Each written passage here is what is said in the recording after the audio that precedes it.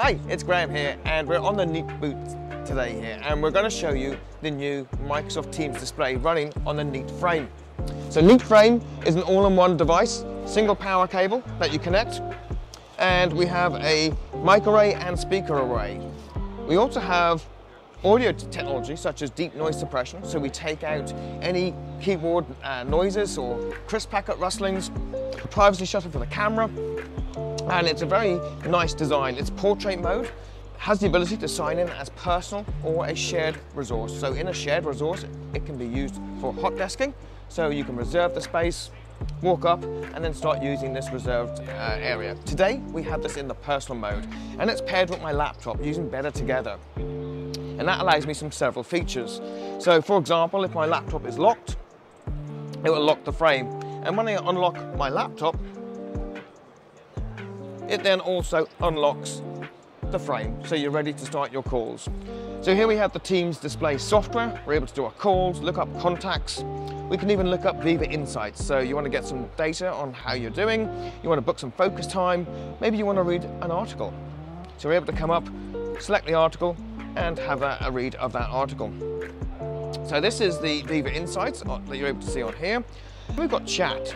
So when we have messaging with people, we can use the on-screen keyboard. However, in this Better Together mode, when I hit reply, I can reply on my desktop and it automatically pops the chat window. So you're ready to start replying there. If you wanted to, you could also connect a keyboard to the Neat Frame as well. We then have the ability to look at files. So any files in our OneDrive, we're able to open up a file. This loads it. It is a viewer, so Word, Excel, uh, PowerPoint, PDF. We can view the file, we can pinch and zoom, and if we think we need to make a change to the file, we can simply open on desktop.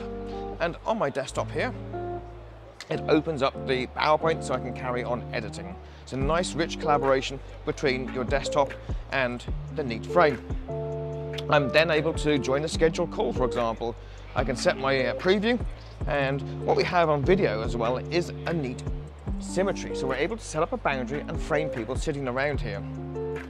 As you can see, it's already in a call, and we have whiteboard. So I'm able to annotate and co-create with everyone in the call. So a really nice touchscreen feature that you can able to do here. And we can go back to focus on our video. We've got pinch to zoom on our participants too. Other features on the Teams display is our reactions, Cortana will be there available soon as well. Be able to change your background, blur your background, all these great Teams features.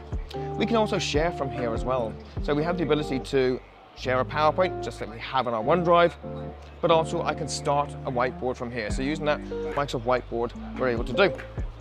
Other features uh, we have is the ability to look at our full Teams chat. So we're able to come into a channel, and we're able to join a meeting that's been scheduled or look at documents that have been shared on the channel, reply to any messages.